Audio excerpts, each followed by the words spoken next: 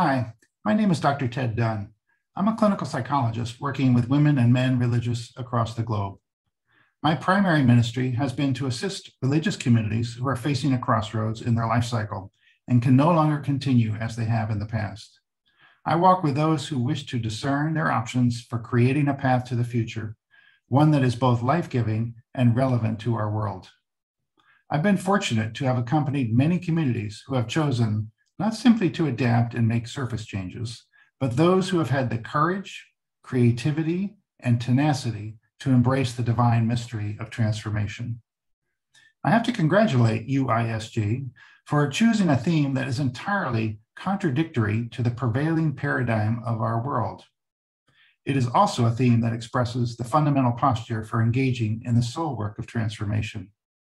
Thus, the title of my presentation is Embracing Our Vulnerability and Its Transformative Potential. Embracing vulnerability speaks to me of the essence of humanity and the very heart of transformation. And that's what I'll be talking about and exploring with the participants. My presentation will start by recognizing the great turning taking place across our planetary home and the crossroads so many communities are now facing. We will explore what might be the deeper invitation at what I refer to as a graced crossroads. I will describe the difference between change and transformation.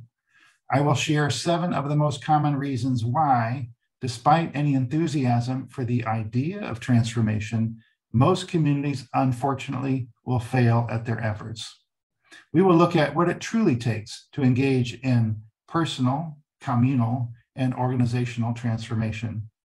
Following the presentation, participants will be invited to reflect upon and explore their own vulnerability, to share substantively with one another, and in so doing, come to know of its transformative potential.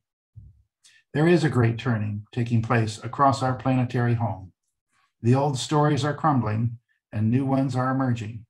There's no going back to the way things were. We together stand at a grace crossroads and we have a choice.